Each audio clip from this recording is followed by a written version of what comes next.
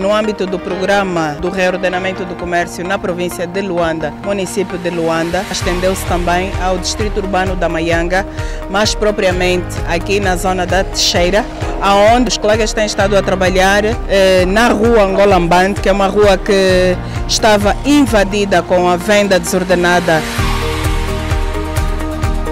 um total de aproximadamente 465 vendedeiras foram sensibilizadas e cadastradas. Então, mercado 4 de abril, no Gameca direita, foram encaminhadas um total de 141 vendedeiras e as outras 58 foram mesmo enquadradas e encaminhadas dentro do mercado da Teixeira.